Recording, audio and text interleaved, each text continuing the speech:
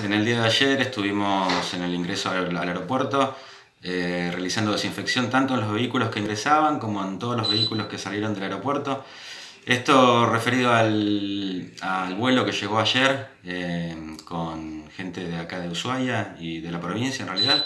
Así que bueno, estuvimos dando apoyo ahí, seguimos trabajando muy fuerte. Esto es realmente un acierto muy grande del señor intendente de avanzar en cuanto a la desinfección en todo lo que son espacios este, donde hay mucha concurrencia de gente, en los, en, los retenes, eh, en la vía pública. La verdad que hay un trabajo muy fuerte de desinfección y bueno, estamos trabajando todos los días para, para tratar de, de, sanear lo máximo posible lo que se pueda en torno a, a esta pandemia del COVID-19.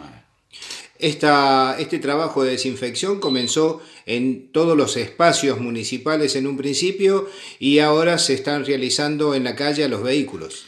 Este trabajo de desinfección con, la, empresa, con la empresa que está este, trabajando lo que hace es un recorrido cotidiano de, los, de muchísimos lugares, de, hablamos de todas las dependencias policiales, bomberos, instituciones de todos los edificios municipales, todas las fuerzas de seguridad eh, están en todos los retenes eh, desinfectando los vehículos de la policía, de todas las fuerzas. Y además ahora eh, tenemos gente puesta en los retenes donde más cantidad de, vehículos hay y lo que se hace es que cada vehículo que, pasa por el retén es desinfectado.